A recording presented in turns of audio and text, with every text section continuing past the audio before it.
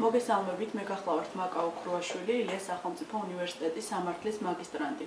და ამ ვიდეო ლექციის ფარგლებში მე ვისაუბრებ თემაზე ზოგადად საკუთრებას. სანამ უშუალოდ მიმოვიხილოთ საკუთრებას, მინდა აღვნიშნოთ, თუ რას წარმოადგენს სანიტო სამართალი. სანიტო სამართალი ეს არის კერძო სამართლის მნიშვნელოვანი ნაწილი. და სწორედ ეს არის სამართლის იმ ნორმათა ერთობლიობა, რომლებიც განსაზღვრავენ ნივთებსა და არამატერიალურ ქონებრივ სიკეთეზე ადამიანთა ან იურიდიული პირების ბატონობის პირობებს. ასევე აღსანიშნავი ისიც, რომ საქართველოს სამოქალაქო კოდექსი თითოეული მოქალაქის ცხოვრების განუყოფელი თანამგზავრია. და ყოველი ადამიანის მიერ გადადგმული ნაბიჯი დამეთანხმებით, რომ არის სამართლებრივი შეფასების საკითხი. იშვიათად თუ მოიძებნება ისეთი ადამიანი, რომელსაც ცხოვრებაში ერთხელ მაინც არ ქონია შეხება საკუთრებასთან. კონკრეტულ შემთხვევებში ეს შეიძლება გამოიხატოს მის შეძენასა თუ დაკარგვაში. სამართლებრივად რას გულისხმობს საკუთრება? ანუ სამართლებრივ ენაზე ეს არის მესაკუთრე სრული ბატონობა ნივთზე. მაგრამ რიგი მოქალაქეებისათვის ეს გაიგივებულია და ეს ნიშნავს იმას, რომ მას უბრალოდ საკუთრად აქვს რაიმე ნივთი, რომელიც უბრალოდ არის თავისი. საკუთრება ზოგადად იმდენად ფართო და მოცულობითი თემაა, რომ დაუსრულებლად შეგვიძლია ვისაუბროთ ამ საკითხთან დაკავშირებით. მაგრამ ამ მოცემულ კონკრეტულ ვიდეო ლექციის ფარგლებში მე ვისაუბრებ მის სადაო საკითხებზე. მე გესაუბრებით საკუთრების უფლების წარმოშობის საფუძვლებზე, მის სახეებზე, უძრავ და მოძრავ ნივთებზე, საკუთრების უფლების შეძენის სპეციფიკაზე, საკუთრების დაკარგვაზე და შემძენის კეთილსინდისიერების საკითხზე. ზოგადად ეხლა კი განვიხილოთ თუ რა არის საკუთრება. საკუთრება ნივთზე ეს იქნება მოძრავი თუ უძრავი გულისხმობს მაქსიმალურად სრულ ბატონობას რის შედეგადაც მესაკუთრე განაგებს ამ ქონების ბედს ყველასაგან დამოუკიდებლად და სწორედ ეს გამომდინარეობს საქართველოს სამოქალაქო კოდექსის 171 მუხლის თანახმად რომელიც გვეუბნება რომ მესაკუთრეს შეუძლია კანონისმიერი ან სხვა გვარი კერძო სახელშეკრულებო შებოჭვის ფარგლებში თავისუფლად ფლობდეს ან სარგებლობდეს ქონებით ნივთით არ დაუშვას სხვა პირთა მიერ ამ ქონებით სარგებლობა და რა თქმა უნდა, ამით არ უნდა ილახებოდეს მეზობლის ან მესამპირის ინტერესები და მესაკუთრის მოქმედება, რა თქმა უნდა, არ უნდა წარმოადგენდეს უფლების ბოროტად გამოყენებას. აღსანიშნავია ისიც, როდესაც საუბრობთ საკუთრებაზე, ვინც იძენს ნიცე საკუთრებას, ავტომატურად იძენს საკუთრებას მის არსებით შემადგენელ ნაწილებზე. მაგალითის შემთხვევაში, როდესაც იყიდება მიწა, მიწის ნაკვეთი, ივარაუდება, რომ იყიდება ავტომატურად მასზე მდგარი შენობა ნაგებობებიც. ახლა უშუალოდ განვიხილოთ, თუ რას წარმოადგენს საერთო საკუთრება და რა შეიძლება ის გულისხმობდეს. საერთო საკუთრება ეს არის ქონებას, რომელსაც ერთდროულად ფლობს რამდენიმე პირი. ანუ თითოეული მესაკუთრე საერთო ქონების თანამესაკუთრეა. საერთო საკუთრება შეიძლება წარმოიშვას როგორც კანონის, ხელშეკრულების, ისე გარიგების საფუძველზე. საერთო საკუთრების შეიძლება საერთო საკუთრება შეიძლება დავყოთ ორ სახედ. ეს შეიძლება იყოს როგორც წილადი, ასევე საზიარო საკუთრება. ახლა თქვათ თუ რას გულისხმობს თითოეული მათგანი. საზიარო საკუთრების დროს, ანუ თითოეულ მესაკუთრეს აქვს განსაზღვრული წილი საერთო ქონებაში, რომლის განკარგვაც მას შეუძლია. ხოლო რაც შეეხება საზიარო საკუთრების დროს, თვითონ მესაკუთრის უფლება ვრცელდება მთლიან ქონებაზე. აა საკუთრების დაცვა ხორციელდება, რა თქმა უნდა, ყველა მესაკუთრის ინტერესების გათვალისწინებით და მათ სასარგებლოდ. აა თითოეული თანამესაკუთრეს შეუძლია სხვა თანამესაკუთრეებთან შეთანხმებით აა დააგირაოს ან უფლებრივად სხვაგვარად დათვირთოს ქონება, როგორც რა თქმა უნდა, მის ინტერესების გათვალისწინებით და უნდა მოხდეს თანამესაკუთრეებთან შეთანხმება. ასევე რაც შეეხება თითოეული მონაწილე ვალდებულია სხვა მონაწილეებთან შეთანხმებით თავისი წილის თანაზომიერად იკისროს საზიარო საგანთან დაკავშირებული ხარჯები. საერთო საკუთრების ერთობლივი სარგებლობის ხარჯები. ასევე თუ რა არის უპირატესი შესყიდვის უფლება საკუთრებასთან დაკავშირებით, როდესაც მესაკუთრე გადაწყვიტოს, რომ გაყიდოს თავისი წილი საერთო ქონებიდან, სანამ გაყიდის და სანამ ამის შესახებ შეატყობინებს მესამე პირს, იგი ვალდებულია ნასყიდობის ხელშეკრულების შინაარსი აცნობს თანა მესაკუთრეებს. მე აღნიშნე რომ ვისაუბრებდი საერთო საკუთრებაზე რომ შეძენა თუ როგორ ხდება მოძრავ და უძრავ ნივთებზე. ჩვენ ვიცით რომ ქონება შეიძლება იყოს როგორც უძრავი ასევე მოძრავი ამიტომ საქართველოს სამოქალაქო კოდექსი განსხვავებულ წესებს ადგენს მათი შეძენის შემთხვევაში. აა უფრო მარტივად გვაქვს საქმე, როდესაც ხდება მოძრავი ნივთების შეძენა, ვიდრე უძრავი ნივთების შეძენა. რაც შეეხება, როდესაც ხდება მოძრავი ნივთის შეძენა, საჭირო არის მხოლოდ მხარეთა შეთანხმება და შეთანხმების საგნის გადაცემა, რის შედეგადაც საკუთრების უფლება გადავა შემძენზე. აღნიშნულიდან ჩანს, რომ აქ საჭირო არ არის რაიმე ოფიციალური დოკუმენტის შედგენა ან რომელიმე კომპეტენტური ორგანოს თანხმობა, აუცილებელი არის მხოლოდ ორი პირობის არსებობა. ეს არის მხარეთა შეთანხმება, შეთანხმების საგნის გადაცემა, რომ საკუთრების უფლება წარმოიშვას. როგორც გითხარით, უფრო რთულად გვაქვს საქმე, როდესაც საქმე ეხება უძრავი ნივთების შეძენას, რომ ასე რომ მათზე წარმოიშვას საკუთრების უფლება. აა საქართველოს სამოქალაქო კოდექსი მეტ მოთხოვნებს აყენებს ამასთან დაკავშირებით და ეს ყოველივე გამომდინარეობს უძრავი ნივთების მატერიალური მნიშვნელობით. კანონი ცალსახად ადგენს, რომ უძრავ ნივთებზე საკუთრების უფლების წარმოსაშვად საჭიროა, რა თქმა უნდა, მხარეთა შეთანხმება, რომელიც უნდა გამოიხატოს მათ შორის დადებული წერილობითი გარიგებით. და შემდგომ იმპერატიული მოთხოვნა ის არის, რომ უნდა რომ აღნიშნული გარიგებით გათვალისწინებული უფლების საჯარო რეესტრში რეგისტრაციის გზით დაკანონება უნდა მოახდინონ მხარებმა. აუცილებელი არის რა თქმა უნდა საჯარო რეესტრში რეგისტრაცია.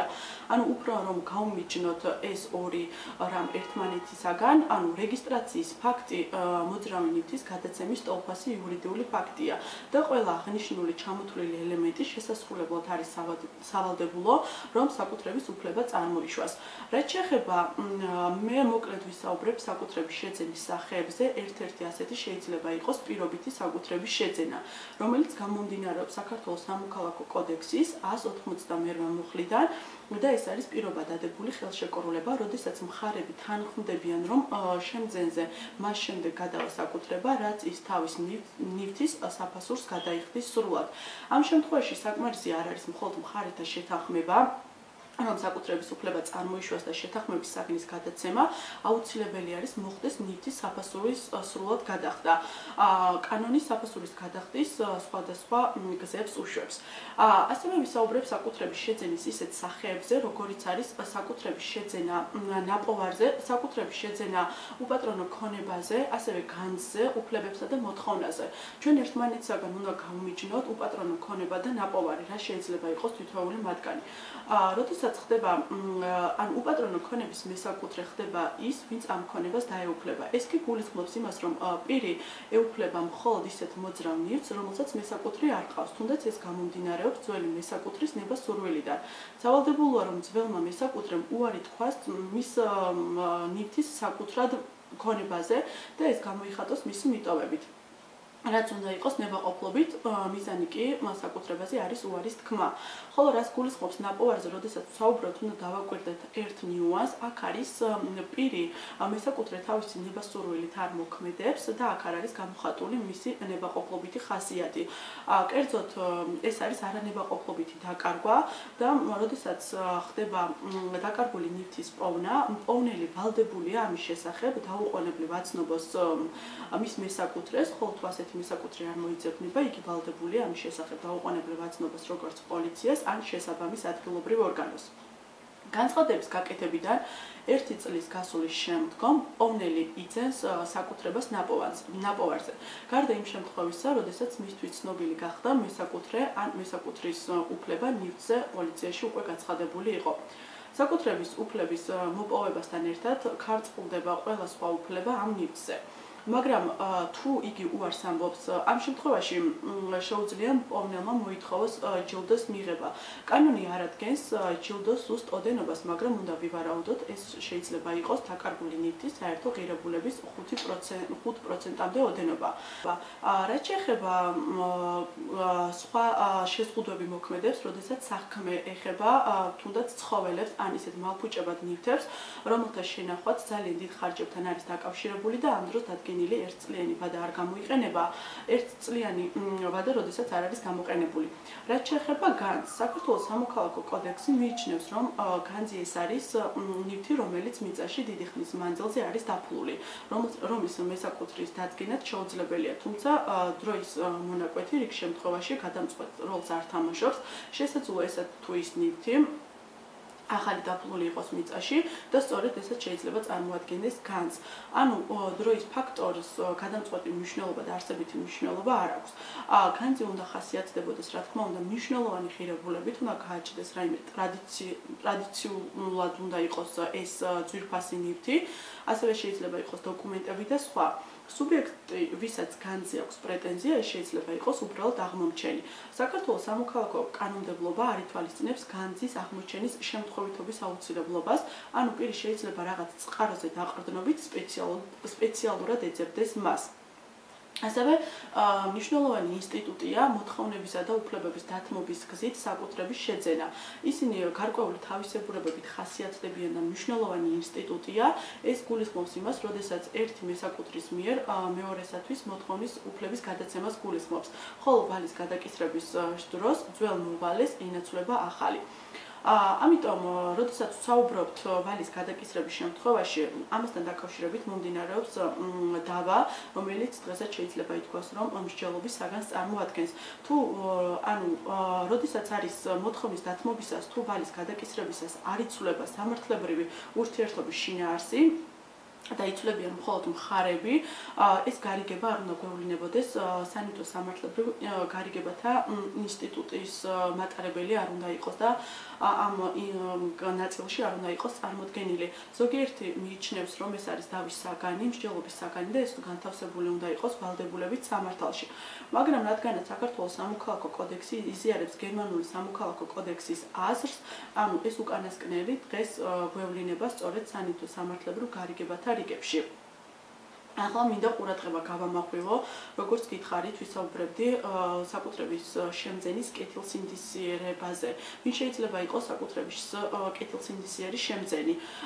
ეს თემა დღეს ძალიან აქტუალურია და ძალიან სადაო თემა, რომელიც სასამართლო პრაქტიკიდან გამომდინარეობს. ანუ სწორედ ეს ხდება საქართველოს სამოქალაქო კოდექსის 187 მუხლში. ანუ კეთილსინდისიერი შემძენი შეიძლება იყოს, რომელმაც არ იცოდა და არ შეიძლებოდა სწოდნოდა, რომ ნივთის გამსხვილებელი არ იყო მესაკუთრე. წინააღმდეგ შემთხვევაში ის იქნება არაკეთილსინდისიერი შემძენი.